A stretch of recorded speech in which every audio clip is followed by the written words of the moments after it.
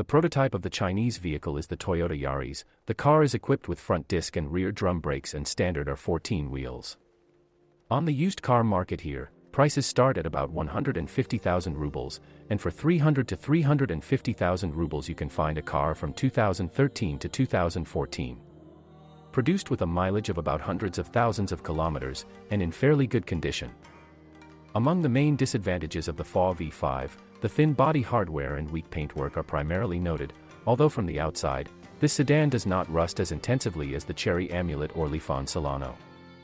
Also the disadvantages of the car are Low ground clearance, 130mm, capricious electrics, in particular, the generator and air conditioner often refuse to work, poor sound insulation, not very reliable suspension, requiring frequent repairs.